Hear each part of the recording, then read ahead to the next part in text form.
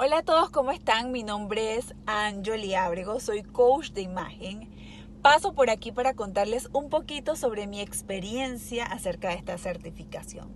Desde que la tomé, he elevado mi conocimiento, mi aprendizaje, mi manera de expresarme, porque no solo te ayuda a poder enfrentar un público, sino que también te ayuda en tus relaciones interpersonales.